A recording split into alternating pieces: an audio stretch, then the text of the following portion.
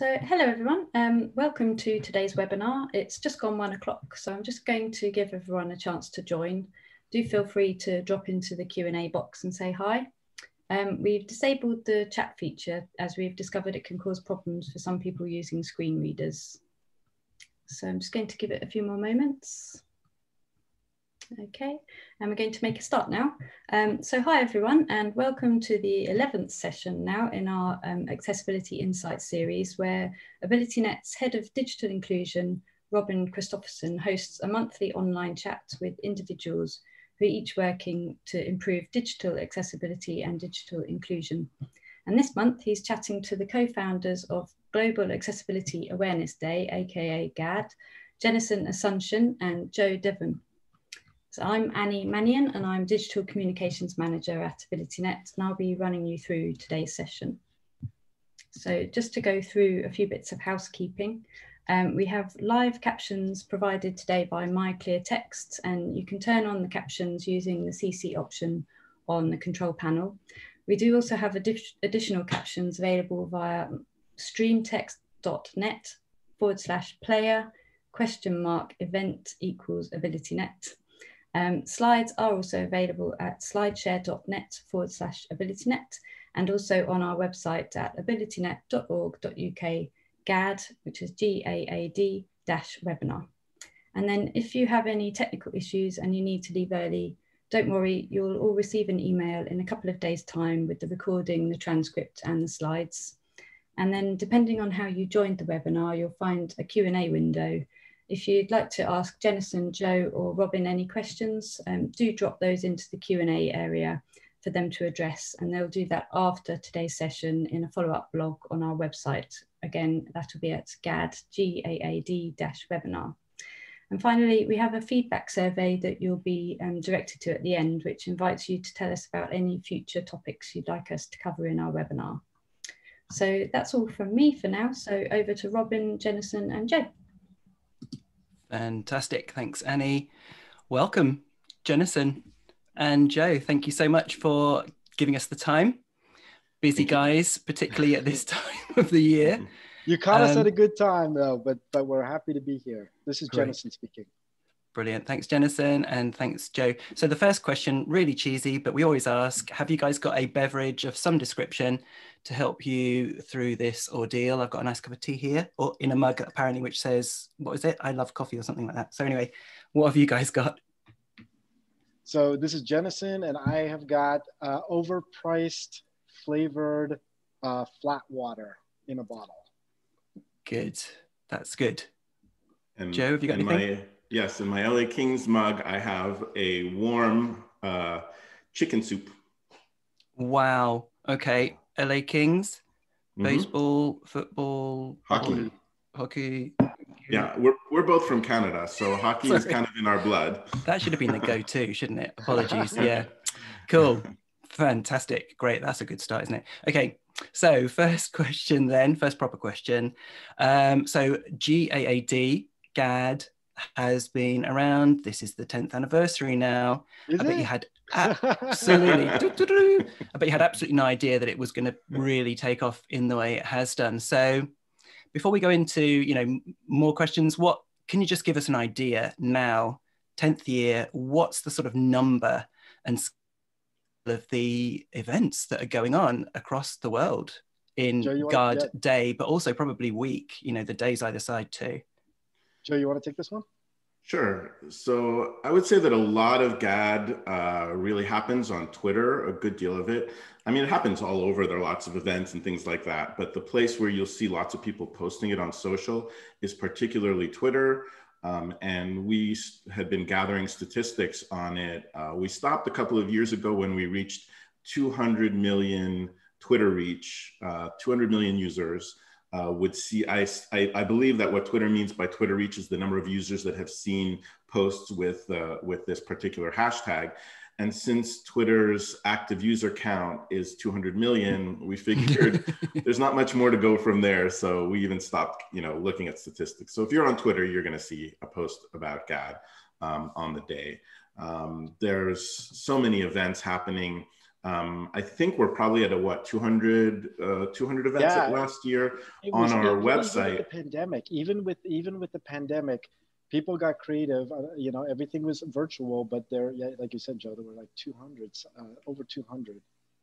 Yeah, and, Wow. and I would say that that's the events that people posted on globalaccessibilityawarenessday.org. There's probably at least as many that are never like that are internal and not mentioned. I run into companies all the time that that say that they've been doing things internally. So uh, let's say our guesstimate is probably 400 events. Great. I mean, I don't think we're posting this one on there. So that's 201. Yeah, there you Um, go. Yeah. And also I'm I've been asked to speak on events both before and after the day itself as well. So yeah, it's really it is a week really, if not further, you know. Well, we yeah, we know companies. We know companies that actually make it a month, uh, Yeah. a full month. Mhm. And what's really what's really neat about this uh, is that uh, people use we people use the the GAAD platform, if you will, as a as sometimes as a as a as a reason or an excuse to raise accessibility for the first time in companies, or to uh, uh, launch a product, uh, or to start a campaign, or to end something, or to to make it as an announcement. So we're we're we're fine with all that, so long as it involves digital access or, or inclusion. Um, you know, at this point, Joe and Joe and I kind of are just like standing to the side and, and watching watching things just happen. It, it's amazing. Wow. I mean, it really, it's just the journey's been incredible. So, if we do look back over the last 10 years, the lifespan of, of GAAD, what do you think the most significant changes? I mean, there's been so many changes in technology in general, in take up of digital, particularly over the last 12 months or 18 months. What do you think I the most say, significant yeah. changes in accessibility have been? I, I would say, yeah, but what we're seeing in terms of uh, like if we look at it from the perspective of the types of uh, tweets or, or companies and things that are really getting into it, uh, into the GAAD spirit, gaming is huge. Um, and, and, and so that whole that whole area, uh, accessibility and gaming is big. And then the learning, uh, e-learning companies are also really stepping up uh, and, and doing stuff on GAAD. So I would say trend-wise, we're seeing a lot more, or I'm at least I'm seeing a lot more on that front, gaming related things and and e-learning. What about uh, Joe? Are you great trend-wise? Have you noticed anything? Um, I would say there's a lot more awareness where there was there was none when I first wrote the blog post that turned into GAAD. There was there was almost none, and I'd say that there's awareness. There's not nearly enough change that I've seen. I agree with with what you said, Jennison, for sure. Um, we've been doing uh, Diamond, my company's been doing a state of accessibility report the last couple of years, um, and we partnered with. Uh, um, uh, with WebAIM, and you know the numbers they show are, are 98% of the web is inaccessible. So there's a lot of work to be done. But I just want to add that we, we've also done like manual testing of the top 100 websites, and that's where we're seeing improvement. So we're seeing that the that 40% of the top 100 websites um, are really very accessible, and then you add another 20% or so that are accessible with difficulties. So I'd say at the top tier, um, it's it's really changed a lot and But, yeah, um, the rest of the web i hope will follow along with with the leadership of the top uh, tech And- companies and, and just two things I want to add is is fundamentally, I personally don't believe in a website or anything being completely accessible, 100% accessible. That to me is a moving target just because of the way stuff is developed these days. You know, a screen that's accessible today because of sprints and, and the way we run things more in an agile fashion uh, predominantly, that screen could be broken tomorrow and then it could be fixed again. So it's, it's always a moving target. Um, that's one thing um, that, that I want to say on that front. Uh, and I'll, I'll leave it there for, for the second. yeah, I mean, I absolutely agree. It's a journey. You never actually arrive. And um, despite that, you know, despite people thinking or, or becoming more aware of the importance of it, but also the kind of um, complexities of trying to achieve, you know, uh, uh, be in the ballpark of an accessible, inclusive website. Um, and Robin, yeah, and Robin, if sorry, if I could just add one thing, um, this is just the web that Joe and I have been talking about. yeah. Who we have no idea because let's face it, the world is on mobile. Uh, there's yet to be uh, any kind of similar undertaking to understand how we're doing with the top mobile apps.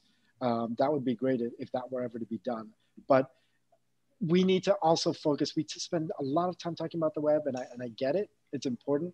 But GAAD is all about all types of technology, uh, and we really, we as in GAAD. So I'm, I'm looking at you, Joe. We need to, uh, we need to do more uh, on the mobile side of things, making sure the mobile app developers are also doing exactly what the web has, uh, folks have been doing for the last 10 years.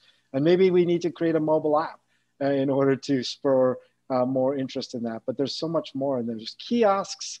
There's all kinds of other technologies out there that we don't want any of that stuff to get lost because that all falls in into the, uh, within scope of GAAD. Yeah, yeah. Uh, let me add one one thing, if you don't mind, um, that I just thought of. Uh, AR, VR, it's mm. the next thing that's going to change um, technology. I mean, it's the next big technology, and it touches wearables as well. And the top companies that are doing it are aware of accessibility, and mm. I believe that they're going to be paying a lot of attention to it. Um, wearables, in particular, if you get it right with people with disabilities, you're going to have the best product. Um, and so I have a lot of hope for for the future. The next technology finally kind of bringing accessibility in right at the start. And if I could give props to uh, an organization called XR Access. So if you use your favorite search engine and look for XR Access, that's an organization uh, here. Uh, I think it's primarily here in the US. That's to, to Joe's point, it's tackling uh, this whole issue of a, uh, augmented reality, mixed reality, virtual reality. People like Larry Goldberg and other uh, leaders are involved in that. So I just wanted to give props uh, on that end. Brilliant. So I was going to ask you about how the changes that we've seen in the landscape of accessibility have, you know, have been accomplished over the last 10 years. But I mean, we look, we've been talking about mobile. This has been the time frame of the rise of mobile. You're absolutely right. And that offers really good choices for people to have a much more disciplined, distilled, uh, consistent experience. And you mentioned about tools earlier, the tooling to help developers create accessible products on mobile, you know, almost out of the box, kind of without having to worry too much about it, has played a massive part, as have tools on the desktop, you know, HTML5. As long as you stay native, then, you know, that's half the battle. I was just gonna say, I was just gonna say, as long as you stay within the guardrails yep. of, of, the out of the box stuff. But what's nice about the mobile devices, Robin, if I could say, is that they they have all of the accessibility features built in. So there's no excuse for an engineer or a designer or a UX person to mm-hmm. just flip on a voiceover or a talkback or pick up like do switch switch device or voice or voice control or voice access there's no excuse. Uh, anyone within the sound of our voices now now knows that that stuff is there. So if you knowingly don't use any of that stuff, uh, whether it's there or on the web, uh, if you're not using any tooling, uh, any of the test automation, or if you're not using native controls, in essence, what you're doing is you are introducing tech debt and bugs into production for your uh, for your product or feature that you're working on. In addition to excluding uh, potentially excluding more than a billion people with this yeah.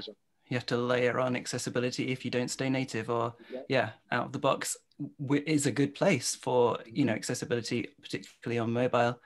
So um, yeah, can I, can I add something to that too before you yeah. go to your next question? Um, uh, Facebook has taken the GAAD pledge to make uh, React Native uh, accessible. So uh, they've done a lot GAAD, of work. What is the GAAD pledge, Joe? I knew you were going to ask that. uh, the, the, the GAAD pledge is essentially the idea kind of started with, uh, uh, with open source projects, um, where the open source project first and foremost makes a commitment uh, to making their open source project accessible. Um, there's lots of other little details, but I don't want to go into, into all of those because I think what we're trying to achieve when we're bringing accessibility into an organization is that it would be part of the culture, part of the core values of the project or organization. And so um, the idea with the GAAD pledge was really to focus on the frameworks that people build technology in, because if the frameworks are more accessible, they include accessible documentation, they include accessible examples, then the developers that take up that project will uh, do, a, do a better job of accessibility, which affects, can affect millions of users downstream. So we're very happy that uh, that Facebook was the first one to take that pledge, and we hope to see um, more open source projects and organizations take the pledge. Fantastic. And that has a parallel with another recent, relatively recent development in the area of accessibility, which is the sort of idea of a maturity model, actually embedding accessibility right across your organization in its processes and practices, etc., tooling, um, which just didn't exist, you know, several years ago. And I think that really helps as well because people were firefighting before they were reactive talking about react um, they were you know not embedding things throughout you know they're, they're now thinking about shifting left you know going to the beginning of a project and um, taking a more holistic comprehensive approach to accessibility. Have you guys seen that as well? Definitely seen organizations talk about shifting left um, and some of them most certainly have absolutely. Um, i think I, I, love the concept of the accessibility maturity model. Um, i'd love to see uh, to see more documentation online that's kind of really uh, really well put together. There was one um, that was put together years ago by Sherry Byrne-Haber, but I think something got lost in translation because I couldn't quite find uh, I couldn't quite find it in order. Um, so I, I, think we have a little bit of work to do there um, in terms of documenting it. Yeah, I think, um, I, and I believe Microsoft uh, has put out uh, the maturity model. Um, I believe I saw that some uh, online. Uh, so uh, Jenny, don't don't shoot me if that wasn't the case. But uh, but I believe I believe I believe that um, that uh, that that was the case. But if if you use your favorite search engine and type accessibility maturity model, you'll find stuff. And honestly, having it in one place is great but but a lot of it just makes common sense once you get into it. it it's it, it really is, and part of it is just about accountability, measurement, and, and just making sure that you can track like progress over time. Absolutely, and we're um, kind of optimizing our own version of it as well because there are a few out there, and they're quite. Um, similar, but at the same time, you know, they have maybe um, strengths and and you know different areas of challenge that they would bring to applying it to different organizations. So yeah, mm. we're in that journey as well. And there's a lot of interest there too. So that's really, really good. Okay, let's bring the time frame a little bit closer to today. The mm. last 12 months, 18 months with COVID, home working. Jennison, you've got a disability, haven't you? Yes, I'm, I'm, yeah. I'm completely blind. Okay, cool. I say cool, but you know, it yeah, is yeah, what it is. Yeah. It is. And Joe, are you, do you have any kind of impairment or is that not? I mean, no, that... I mean, a great question. I don't, think of it as disability, but I'm 53, so that comes with uh, you know like floaters in the eyes. Yeah, yeah. Clouds in the eyes. I got surgery to fix my vision, and it all it did was tell me that I have a bunch of stuff in my eyes that, that and it's not been my glasses that have been smudged. It's my eyes. Interesting. Robin, just Robin, real quick, because I know we kind of joked about this for a second, but but I, I did want to mention uh, something that you you Robin probably know well uh, what I'm about to say. But you know, GAAD is all about uh, making sure like the conversations happening for, around people with disabilities and access. But the reality is, you know, sure, there's the 15% of us who have disabilities or impairments, but just a reminder to everyone uh, listening uh, out there that there's more than that. There's the folks with situational disabilities, uh, people who have a temporary disability, like a broken arm, or like Joe, uh, just getting older and just acquiring, um, you know, disability. Fortunately, Joe was able to get surgery to get get that dealt with. But the reality is, all of us are getting older, and stuff happens. So there's always this focus on like that 15% figure and, and all that, but it's a lot more. And and there's more than just uh, the average person with a disability that you see down walking down the street, uh, who you're helping uh, with uh, making stuff accessible. And that's one thing that has come out in within GAAD is we're seeing a lot, a, a lot more uh, time spent talking about invisible disabilities and accessibility. Because it's not Absolutely. just all about blind people and screen readers, right? Yeah. Although um, we're tough customers to. Yes. Yeah. Yes, yes, but yes. still, I agree. Yeah. In fact, that, I would go actually. Even... Sorry. Sorry. Go ahead. No, no, no. Go. Um, so I'm, I'm glad you brought that up, Jennison. I'm actually working on a, on a presentation now to talk about how all of our statistics are completely wrong. They just don't even make sense on the face of it. Um, the WHO talks about that 15% statistic, but they also mention that 2.2 billion people have a visual impairment, which is 28% of the population. So taking that alone, you're, you're almost double that 15%. We don't know the real figure, and maybe disability is the wrong word to apply to accessibility. I'm beginning to think that. So I I go even further. I agree with you guys 100%. But I actually on all in all my presentations and in many of my articles, I go further and say, look, guys, everybody who uses a mobile phone slides up and down that scale of impairment on an, an hour by hour, a minute by minute basis. You know, using your phone one handed, sh- small sheet of shiny glass on a sunny day, bumpy bus, noisy cafe. So yeah, I think it, it's such a broader audience than people used to think. You know, accessibility, oh, it's for those disabled people. So yeah, absolutely, keep that message, you know, loud and clear because One that yeah. really opens up budgets, etc one phrase that we uh, we use uh, in my day job at, at, at LinkedIn we talk about is where you solve for one and extend to many. Yeah, so, exactly. Yeah. Yeah. Like in this extreme computing age. So we're running out of time. So let's crack on um, talking about COVID and home working and the massive rise of of you know online um, remote collaborative working, all that sort of thing how has it impacted you guys personally and the organizations that you work for? So, so I want to say that for me, it's been fine and it's been great. And one one benefit, uh, and I'll just keep it to one, for for so I work at, at, a company which has lots of conference rooms spread over lots of buildings, and to, and when we were pre-COVID, I would always have to check to see where a meeting was taking place. And if it was in a place that was unfamiliar to me, then I would have to uh, make arrangements to either meet a colleague somewhere or to walk over with a colleague. Now, that's all been dis- dis- disappeared because all I have to do is just like use a link and, and activate the link and be there.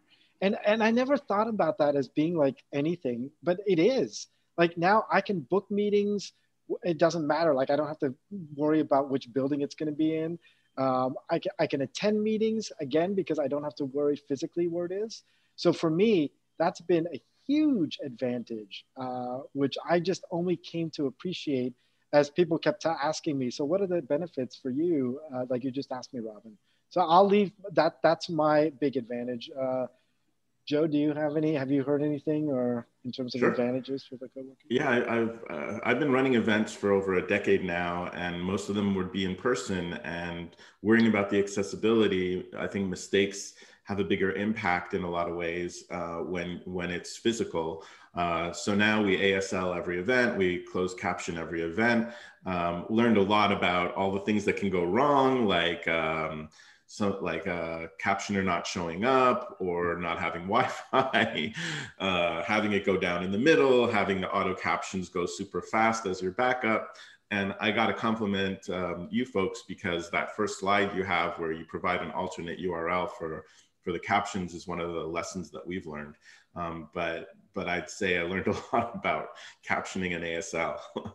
but to your point, but, but to your point, Joe, I mean, just the idea of, of, of also not having to worry about is, is the venue that you want to use for an event, is that physically accessible for a, a wheelchair user?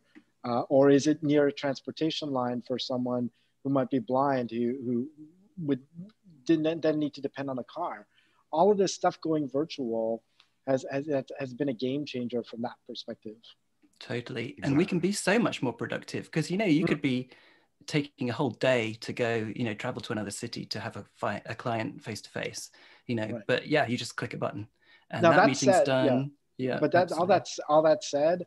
I am so looking forward to getting back in person and just because then nothing will ever replace that. Sure, this has opened up a lot, and I think we're going to end up. I think this is going to cause a bit of friction, to be honest with you, in terms of I think people are going to be uh, demanding more online or hybrid. Um, what I would caution people to understand as someone who, who runs events is the level of complexity when you need to then layer on uh, like a fully hybrid mm-hmm. approach to everything is a lot. So I think we're going to start getting to a point like in the years to come though, where we're going to get back to the way things were. Uh, st- stuff will still be some online, But let's not forget the power of being in person and what that brings. I've heard that the hybrid is much harder than either yeah. online or face to face. You know, it's kind of twice the work. Sorry, Jay. No, all good. Um, yeah, I'm, I'm at a Toastmasters that does hybrid, so uh, it's very complex and uh, and it makes it a lot harder, but it's really cool too. Great. Okay, what then? We've seen a lot of changes over the last decade. What needs to change next? Sort of one big thing. Do you think? Uh, you know, we're not. We haven't arrived. Still, ninety plus percent of websites are not. You know, very usable. So, what do you think is the next big step that needs to happen? we need to from from my perspective we need to get all of those companies that build these web in a box or app in a box tools which are used by the balance of people who know nothing about how to create websites or mobile apps we need those companies to step up and, and start thinking about um, creating those those tools so that when someone presses the button and says create my app or create my website that they're going to be accessible. Uh, they're going to be generating accessible code. So that's one thing that needs to happen. The other thing that needs to happen is we need to make sure that accessibility. We're not. I'm not talking about everything, but but the bare bone, the concepts of accessibility must be required learning uh, at colleges and universities in computer science, design, engineering, uh, as well as at these uh, boot camps uh, that are that are popping up everywhere. Um, because it, there's no excuse now for like accessibility. It's not like it's a new thing. The the first accessibility guidelines came out in the late 90s. So this we're just now paying much more attention to it. But there's no reason why uh, computer science, engineering, and design uh, programs, wherever a college and university, uh, cannot. They should be teaching at least bare basics of accessibility. Joe, what do you think in terms of stuff? Yeah, I mean, you hit the nail on the head, and there's where do you begin? There's so many, so many angles, but I'd say that uh, we need to change the culture of the digital product development lifecycle uh, in order to include accessibility, to understand that accessibility is usability, that your craft, whether you're a designer doing UX or programming, if you're unfamiliar with basic things, like for example, if you're doing a Skype type app and you're doing an online offline indicator with a green or red button, that folks that are colorblind uh, for them it's the exact same color. And so if you're unfamiliar with accessibility then i hate to say it this way but it's almost like you're a bad designer. Um, and so I, I, feel like that has to be become part of the culture and we need to stop talking about the statistics of the number of people with disabilities. I'll also add from a personal basis um, my company is a digital agency that builds um, typically b2c software for enterprise and um, we we are building accessibly by default. I just don't really know of any real competitors that are doing that where they they go accessible by default. You can ask them to do it, but um, then you have to make sure that they even know how to do it right. And there are some organizations that know how, but they won't do it unless you ask them for it. And that's something that's got to change because the enterprise companies, uh, I think they want it for the most part. They want accessible websites. So so let's the, the service providers, the vendors have to do that rather than coming in afterward and doing an audit and remediation only. Why not start, you know, in the right spot? Yeah, because you're ending up uh, ultimately then at that point you're you're you're cleaning up tech debt. Um, yeah. I just wanted to sneak one more thing in, if I could, uh, mm-hmm. Robin, is if there are any angel investors or venture capitalists who are catching this, or if anyone uh, listening or watching this webinar knows them, they own the responsibility. They should be making uh, accessibility uh, a requirement to receive funding uh, for startups. There, there is no reason. If, if, if, if every startup was obligated uh, as part of the funding that they received to make sure that, the, the, that accessibility was part of the MVP or the uh, minimal viable product, we'd be a lot further ahead. So my challenge is uh, to venture capitalists, to angel investors, to, to, to all of those folks who are basically funding the technology we're all going to be using in the future in the digital products. You own this. Uh, if you choose not to, to care about it, then you're part of the problem. We should make it very clear for people that aren't already aware that this is a legal requirement we're talking about here. We're not just talking about a nice to have optional extra. So, yeah, absolutely. So, last part of the interview, thank you so much, uh, is to respond to a question from our previous uh, month's guest and also to pass on something to the next month. So, last month, Emma Pratt Richens of the BBC. Well, I think we've kind of covered this because she said, you know, what are your guys' take? Oh, she was very complimentary about GAAD and how far it's come and the brilliant, you know, achievements that it being in existence and you know raising awareness etc has achieved so congrats there she says what about online events and even when things return back to normal do you think there will be um, still the appetite for online events and I think, yeah. yeah. so I'll, I'll, take i'll take this one i think that there will absolutely still uh, uh, be online events uh, because um, there are people who who are, will not be able to make the in-person ones for whatever reason yeah. they're far from uh, a location. There might not be anything happening in their country. Um, but yeah, so there will absolutely still be uh, online events, and who knows that like like five years from now, how how we'll be meeting. Like I know that the uh, A11Y VR, the virtual reality folks, are hosting an event this uh, this year in the virtual reality realm. So yes, uh, online is definitely not uh, not disappearing, um, and I think that will give us broader reach even. Um, yep. It's very democratizing. Absolutely. I mean, look at WWDC. Okay, next final question then. Unless Joe, you wanted to throw something in on that one? Um, no, just hybrid conferences are, are going to be the, the next yeah. big thing. I'm going to join remotely. Sorry, guys. um, so, final comment then. You mentioned Larry. That's spooky. So, Larry is our next. Larry Goldberg, Senior Director, Head of Accessibility at Verizon Media, is next month's guest. So, any comment or question to yes. pass on to Larry? Yes, I would love to have. The question is what are your thoughts on auto captioning technology and, in particular, their habit of censoring out content like swear words. And I'm going to add a little color to this as well, because it's, when you're looking at it from the outside, you might have a very strong opinion of it. Um, and, and you might not think about what it goes into building this.